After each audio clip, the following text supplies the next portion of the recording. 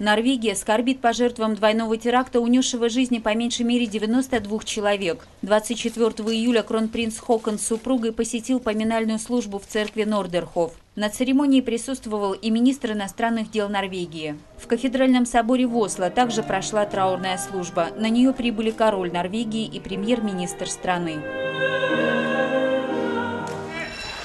Напомним, что в минувшую пятницу возле правительственного здания в Осло прогремел мощный взрыв. Семь человек погибло. Вскоре на острове Утея, примерно в 40 километрах от норвежской столицы, разыгралась еще более ужасающая трагедия. Мужчина, переодетый в полицейскую форму, проник в молодежный лагерь правящей трудовой партии Норвегии и начал расстреливать всех, кто попадался на пути. Полиции потребовался час, чтобы остановить это массовое убийство. Стрелявший сдался правоохранительным органам. Им оказался 32-летний норвежец Андерс Беринг Брейвик, придерживающийся праворадикальных взглядов. Ему предъявлены обвинения в причастности к взрыву в Осло и в стрельбе на острове. Теперь полицейские стараются выяснить, был ли у террориста сообщник. Такого потрясения обычно мирная скандинавская страна не испытывала со времен Второй мировой войны.